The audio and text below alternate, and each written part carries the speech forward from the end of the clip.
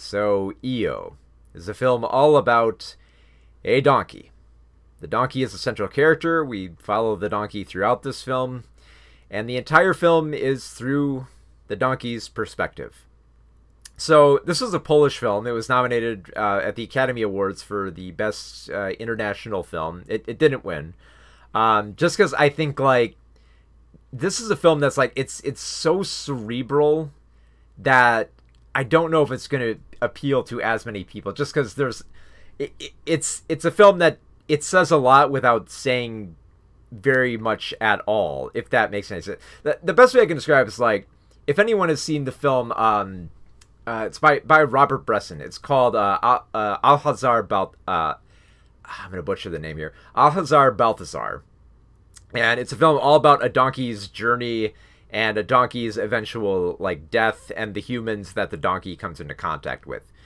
Uh, EO is very much in that like it, it's it's a very easy comparison because it's a similar story. It takes place in modern times. You follow a donkey. Um, the donkey uh, interacts not quite interact i guess he does interact a little bit but he encounters several human characters and he learns about humanity and then eventually um, goes in, uh, you know, leads his life right up to his death. So, uh, to talk about this film, like it, it's weird because like you almost have to kind of like talk about it on a, you know, on, on a little bit of like an, an existential level, just to explain what makes it so brilliant. Because there are going to be, I'll, I'll say right off the bat, this is not going to be everyone's cup of tea. A lot of people are going to watch this film and just be like, I don't, I don't get it. It's just, just a donkey walking around. What, what, what's saying?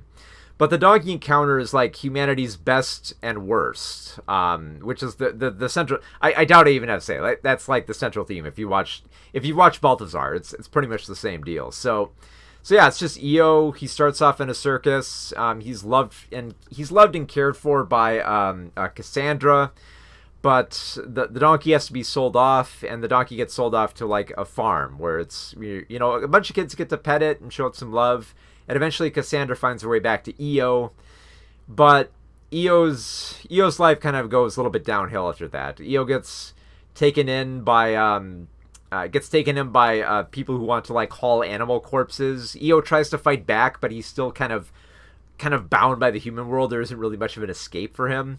Uh, at one point, he encounters a football team who kind of use him as a mascot, but the opposing team beat him up. So you have like humanity's hideousness through its competitive nature through there.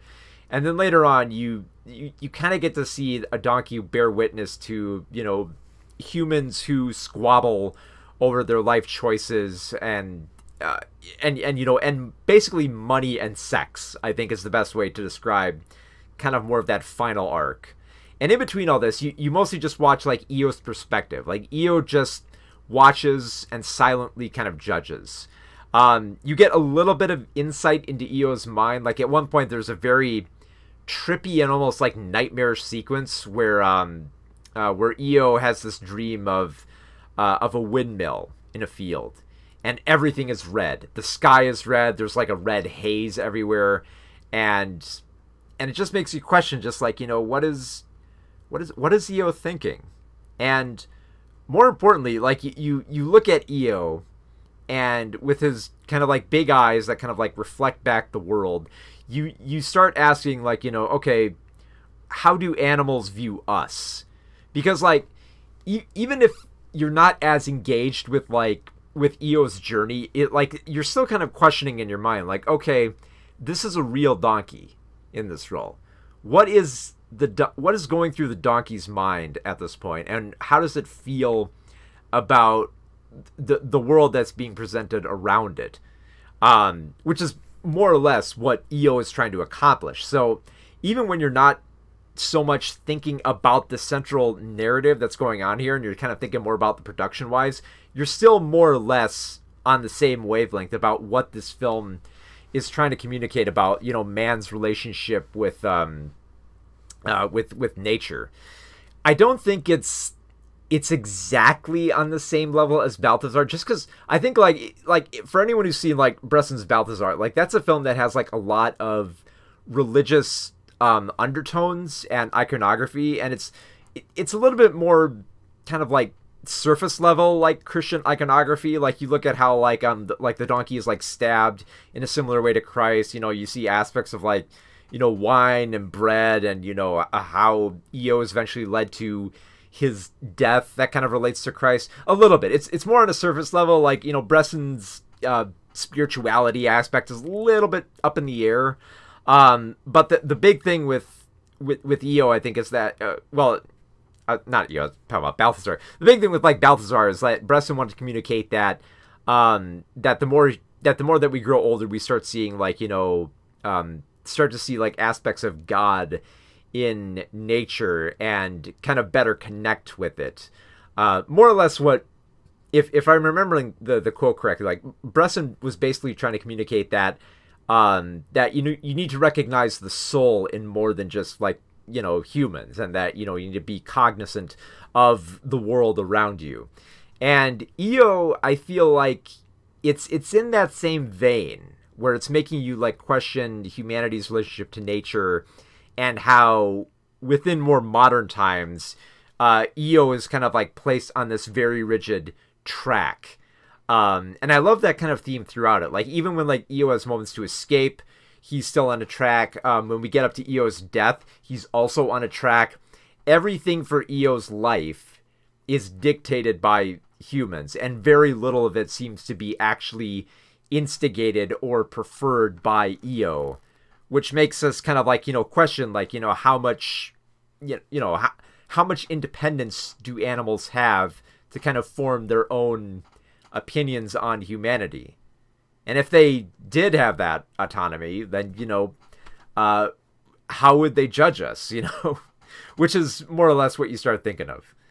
And it's and and it's kind of interesting to kind of consider that through these many arcs that uh, I, I guess it would be arcs. They're kind of kind of more like vignettes um, for which EO encounters different humans. Like some of them are nice and kind and loving, others are hurtful, um, others are like thieves, and others are just straight up murderous at times.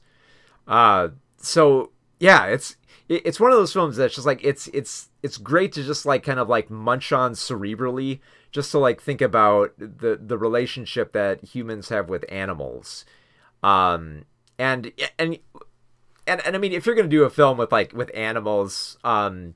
I feel like this is one of the more interesting films you can do with it. Like, there's very few films I've seen in the past few years that center on animals and actually have something more deeply profound to say about them rather than just making something kind of you know like hokey melodrama with like a dog's life or something like that uh, like the closest comparison i can think would be something like white god which is which is a, little bit you know a little bit more on like the, the, the, the darker violent side because it's a story about a dog leading a whole bunch of dogs into a rebellion um, after judging humanity um, but EO is kind of more of like a kind of like quiet contemplation and judgment about uh, man's relationship with nature, which uh, for for this type of film, it works incredibly well.